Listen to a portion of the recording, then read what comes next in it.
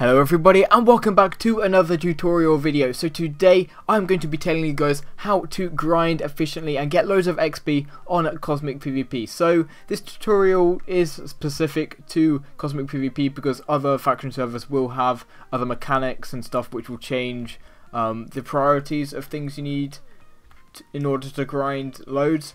Um, but yeah, first off, you will need blaze grinders. So blaze grinders are the most efficient and best way to get XP. As you can see, I am currently on 150k XP, which is quite a lot on Cosmic, and it's many hours of grinding. So yeah, first of all, you need a good grinding sword. On a grinding sword, you need some type of rage, featherweight 3 and inquisitive 4. Loads of people have reforged 10, but that is not necessary, and also a higher um, level of looting is also good. I have a looting 4 sword, um, which is very good. It means I can get more blaze spawners when I'm grinding, so that means I can get more money without actually selling the XP. Um, so, yeah, also, you're going to need an efficient grinder. So this isn't really the most efficient because there's two spots here. But if you can get it so it's just one spot in the middle and you can just sit here grinding for ages, that is just great. Also, I have a little technique in order to get um, a most efficient use out of your time. Also now on Cosmic they have that weird GUI thing that stops you from using Mob Aura. So a lot of people are going to be looking up this tutorial.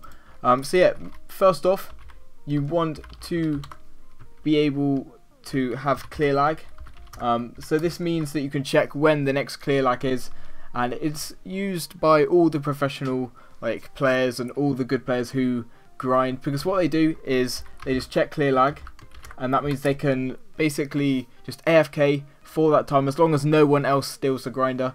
Um, so for example if I was going to do something now I would look at the clear lag thing you just do that by doing slash clear lag there and it will tell you a time um so yeah you just put a timer for probably 30 seconds before the actual time down there just so that you have time to kill all the uh, blazes. This can be done with spiders and zombies and stuff but that's more of a newbie approach and um, that will take a lot longer than this. So yeah basically you'll set it to 30 seconds before and once four minutes has gone in my case, or not XP, then you can come back and there'll be quite a lot of blazes here and you can just grind them. So this also means you'll be able to do other things within that five minutes. Uh, so like do homework or catch up with other things that you need to do in real life. So it just means you can be good at the game as well as just get on with your real life and catch up with everything. And also another very important tip is that you will need to have a very good base. So I will show you FMAP um, but yeah, we basically have a radius claim of I think it's about uh, six or seven, which is quite big. So that means this base will be very hard to raid. Um, and also, you also want to have at least 18 blazes. That's how many blazes I have uh, at the moment, which isn't that much. Most of you guys will have a lot more than that. Um, but yeah, basically next episode, if you guys are a viewer of my channel or um, you watch me frequently, or you'll just hear through the tutorial, I'm going to be doing a 250k XP opening, which is going to be absolutely amazing. Hopefully you guys will smash a like for that. If you guys have any other tips um, for people grinding XP and stuff, please be sure to leave them in the comments. I'm sure if they didn't find my video helpful, um, they'll be looking in the comments and elsewhere for uh, better tutorials. But yeah, if you guys have any better tips or better tutorials or anything that can help anyone who's watching this video, please be sure to leave it in the comments. Um, but yeah, for a grinder, you typically want to have. Let's just look in here. Uh, I think it's one, two, three, four, five, six, seven, eight, nine, ten. You want to have it nine. Actually, no, this is a bit small. I'd say you would have uh, 11 by 11 so that means that in the center there'll be one spot where all the water goes to um, actually no no no actually no no no this is the perfect size for one so yeah it's 10 by 10 so it just means it goes down into here and you can just easily grind the blazes I don't know if this is going to help you guys but I'm just thought I mentioned it um, just in case some of you guys pick up on it and just don't understand. If you have any queries, please be sure to just write them in the comments and I will try and answer all of them. Uh, have I missed out anything? Uh, always sell your blazers because you can get loads of money. I think at the moment I've not 1 million, I've had like about 100k from selling blazers um, without even selling any XP. So it just gets you lots of money. So as you can see here, I've got about one, two, three, four, five, six. So five and a half stacks, and I'm going to be getting 10k roughly from that, which is pretty good. And bearing in mind I haven't sold any XP, and that means I can go to open books. So for this episode, uh, actually no, no, no, no, no. I was gonna open a. Actually no, let's just look in here see if there's any legendary books.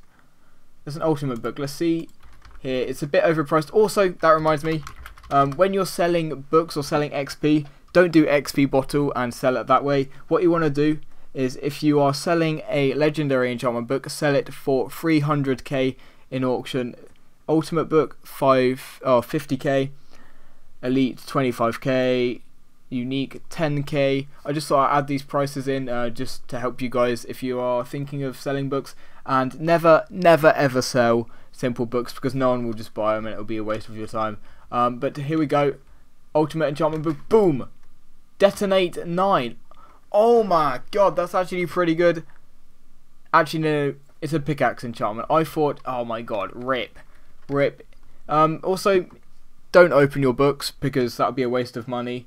And like this, this is probably worth nothing. So, I'm just going to tinker this. And also, tinker your books if you get bad books. Um, because, as you can see, my luck with books is pretty bad. So, I've just tinkered loads um, I got loads of really good dust, which is quite good. And see, look, as I was saying earlier, it says all entities will be cleared in 30 seconds there. So I can just grind away all the blazes that have previously been stored here. Um, and I can just get loads of XP rather than just sitting here for like 10 minutes straight, just grinding.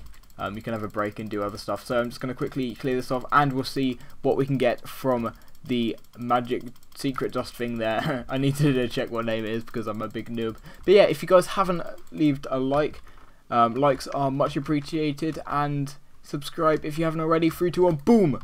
What did we get? Oh my god, damn it, 3%. That's pretty bad.